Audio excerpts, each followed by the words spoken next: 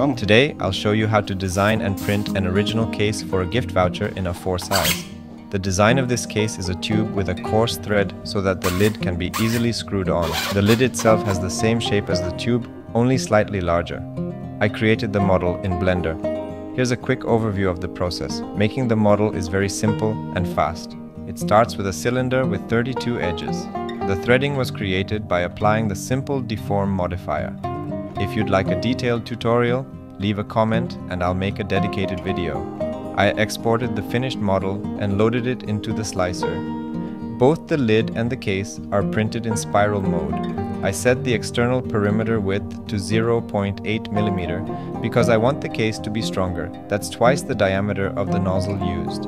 I chose a layer height of 0.15 mm. I used silk PLA as the material and set the print speed low to allow the individual layers to cool properly.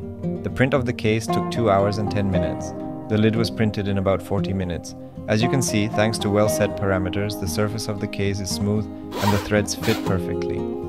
The result is perfect. The case is not only functional but also stylish. A great way to creatively gift a gift card.